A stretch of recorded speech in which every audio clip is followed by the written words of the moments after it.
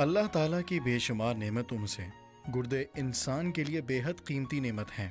खाली के कायनात ने इंसान को दो गुर्दों से नवाजा है, जो कि निस्फ दायरे की शक्ल के दो उस जो दरअसल गदूद हैं।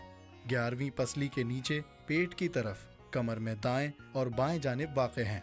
जवानी और तंदुरुस्ती की हालत में गुर्दा 11 सेंटीमीटर लंबा 5 से सात सेंटीमीटर चौड़ा और दो अशारिया पाँच सेंटीमीटर मोटा होता है।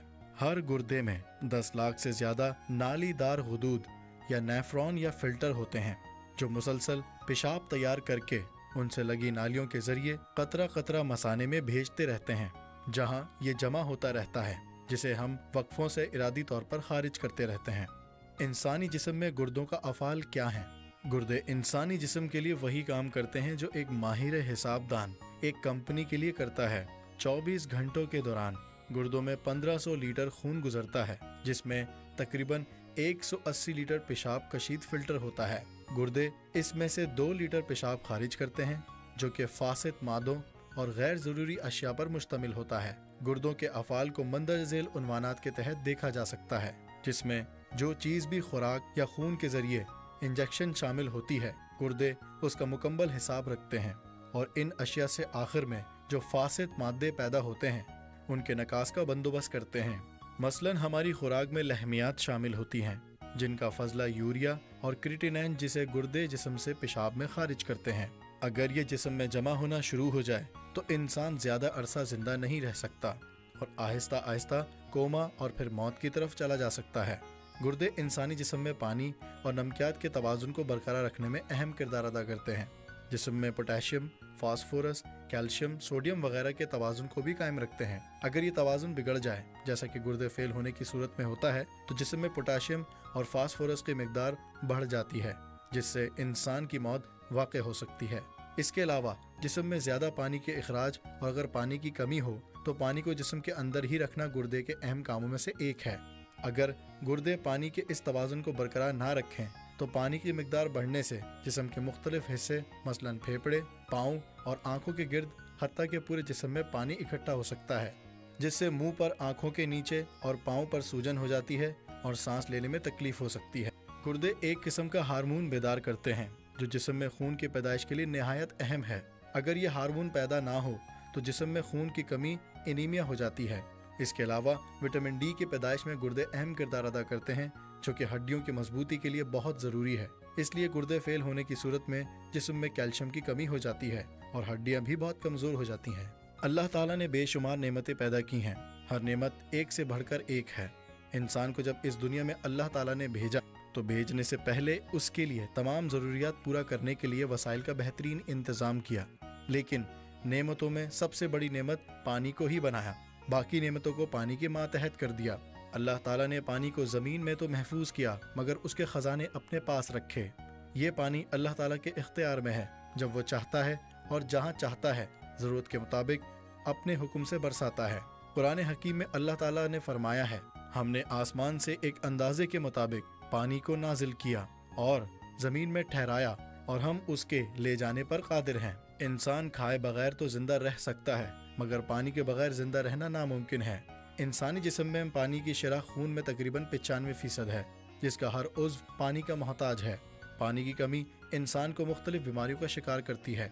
गर्मियों के मौसम में इंसानी जिसम पानी का बहुत सारा हिस्सा पसीना और फजलात की सूरत में खारिज हो जाता है। अगर इंसान पानी का मुनासिब इस्तेमाल ना करे तो उसके जिसम का दर्जा हरारत बढ़ना शुरू हो जाता है। तो उसे चक्कर आना और जिसम पर सुख रंग के धब्बों का ज़ाहिर होना चुभन वाली, बेचैन कर देने वाली खारिश का होना जैसे अमराज शामिल हैं। हर गुर्दे में तकरीबन 10 लाख छोटे फ़िल्टर होते हैं, जिनको नेफ्रॉन कहा जाता है।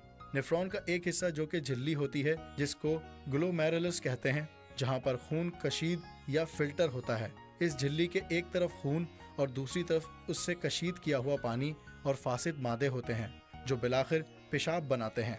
इस झिल्ली की सूजन की सूरत में गुर्दे सही काम नहीं कर सकते। और आहिस्ता आहिस्ता तकरीबन तमाम फ़िल्टर खराब हो जाते हैं, जिससे पेशाब बनना मुश्किल होता है। अगर पेशाब आता भी है तो उसमें फासिद मादे जो जिसम से खारिज होना ज़रूरी हैं, उससे गुर्दे का फेल ख़त्म हो जाता है और पेशाब के अंदर चर्बी और खून आना शुरू हो जाता है, जो इसकी पहली अलामत में से एक है। फिर जिसम में सूजन हो जाती है, उसको हम निफ्रोटिक सिंड्रोम कहते हैं। ज़्यापतीस गुर्दे के फेल होने की अहम वजह है। ज़्यापतीस के मरीज़ उमूमन 10 साल से 20 साल की मुद्दत के बाद गुर्दों की खराबी का शिकार हो जाते हैं। खून में शुगर के नामुनासिब कंट्रोल के बायस खून की नालियों में तंगी आना शुरू हो जाती है और जहाँ पर नालियाँ बहुत छोटी हैं, जैसे आँख, गुर्दा, दिमाग और दिल वगैरह तो वहाँ खून की मकदार पहुँच नहीं पाती और उज खत्म हो जाते हैं। अमूमन पहले आँख की बिनाई ज़ाया होती है, उसके बाद गुर्दे अपना काम करना छोड़ देते हैं। हमारे यहाँ पचास फ़ीसद से जायद मरीज़ जो डायलिसिस करवाते हैं उनके गुर्दे शुगर की वजह से ख़राब होते हैं। इसलिए शुगर के मरीजों को अपनी शुगर बहुत ही मुनासिब हद तक कंट्रोल में रखनी चाहिए, ताकि अजाय रेसिया उसकी वजह से ख़राब ना हो।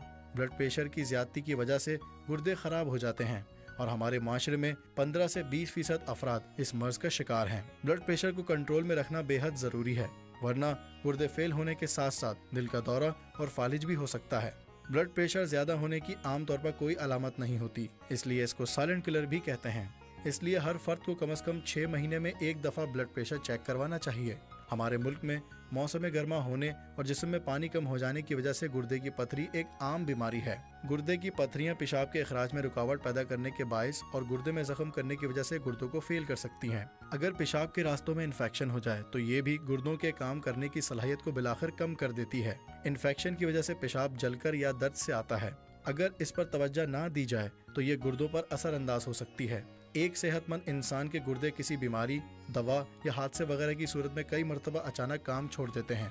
मसलन, जिसम से पानी या खुराक का काफ़ी मकदार में निकल जाना, जैसे बहुत शदीद इसहाल या दिल के दौरे में जिसम में काफ़ी तादाद में पानी ज़ाया हो जाता है।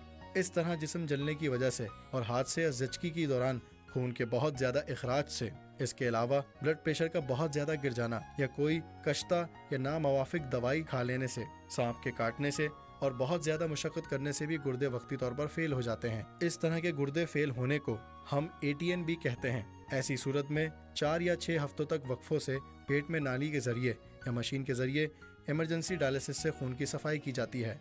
इस दौरान अगर इलाज सही हो तो गुर्दे अपना काम शुरू कर देते हैं और आहिस्ता आहिस्ता मुकम्मल तौर पर सेहतियाब हो जाते हैं।